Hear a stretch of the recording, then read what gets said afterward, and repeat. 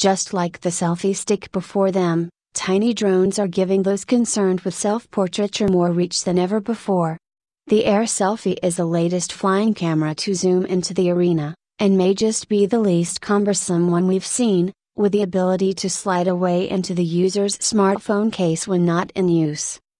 When all you really need is a decent enough camera to hang in the air for a few moments and capture a memory or two, the necessary hardware can be packed into some pretty small packages.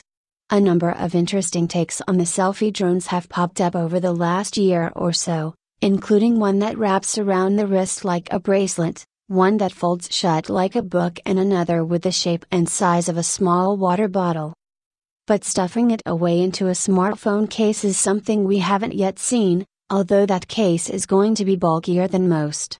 The Air Selfie's aluminum frame measures 3.72 by 2.65 by 0.42 and 9.5 by 6.7 by 1 cm, and is stored in purpose built smartphone cases, which also house a battery set to recharge the drone in 30 minutes. Compatible smartphones include the iPhone 6, 6s, 7, 7 Plus, Huawei P9, Google Pixel and Samsung Galaxy S7 Edge. For those without a compatible phone, a separate power bank is available that can be used to charge the drone up to 20 times. It also sports a micro USB port that can be used for charging. The drone connects to iOS or Android phones via its own Wi Fi network, where users can control it via a companion app.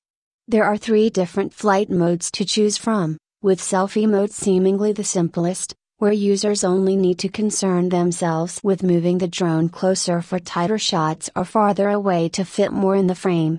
There are a couple of more advanced modes, one using a single virtual joystick and another simulating a classic drone controller with the phone held horizontally.